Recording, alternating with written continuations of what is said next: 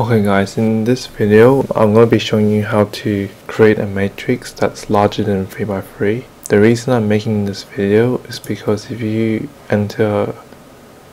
an equation and try to create a matrix the largest option that word the word template will give you is a 3 by 3 but obviously we don't want this for this video so to create a 5 by 5 matrix for example or anything bigger you actually go to insert under object click this arrow then click object again and you want to click on Microsoft equation 3.0 this is basically the same as the equation input.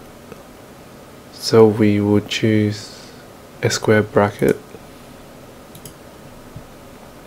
And inside the square bracket we can go down to our matrices the matrix templates I mean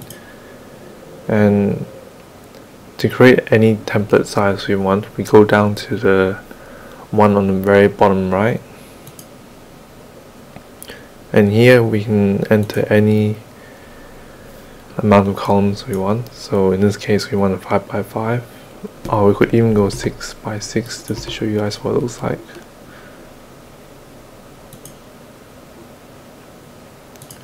And yeah we have our matrix and you can enter it normally. And when you're done you just click out of the box